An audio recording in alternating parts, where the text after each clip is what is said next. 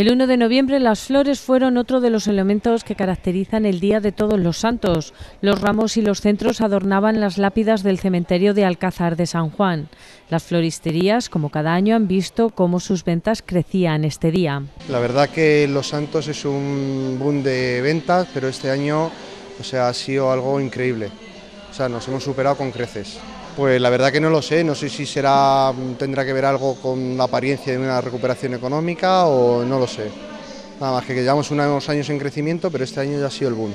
Prácticamente se venden todas las flores, pero el crisantemo, el clavel, el lilium o la rosa son los protagonistas. El clavel, el crisantemo, la rosa, la margarita, el lirium, todo eso se venden todas. Hacemos centro con toda clase de flores y, y se hacen centros como los que tenemos puesto aquí a la venta.